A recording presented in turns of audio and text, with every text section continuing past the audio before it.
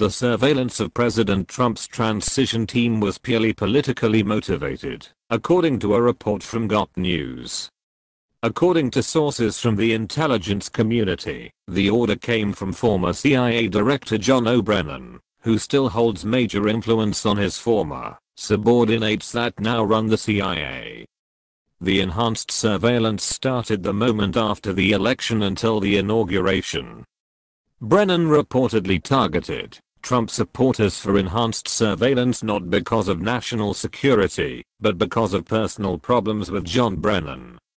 The three Trump team people targeted were Sean Hannity, Michael Flynn, and Erik Prince, the Blackwater CEO. They were reportedly targeted for their close ties to then President-elect Trump, and unmasked by Susan Rice, so their names would be out in the public. Sean Hannity was targeted because of his alleged ties with Julian Assange. Remember the exclusive interview he had with Assange?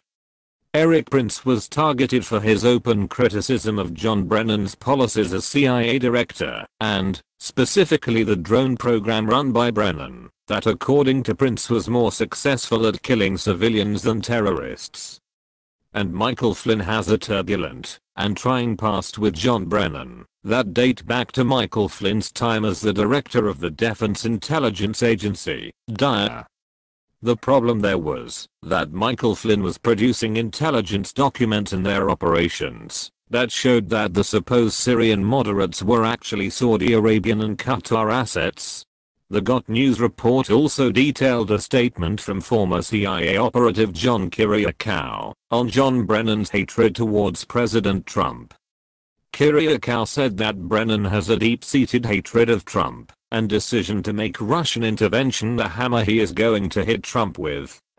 This is a scary thought, that our intelligence community not only went political, but did so out of completely personal hatred. This is the legacy that Obama left. Not hope but failure and shadow works.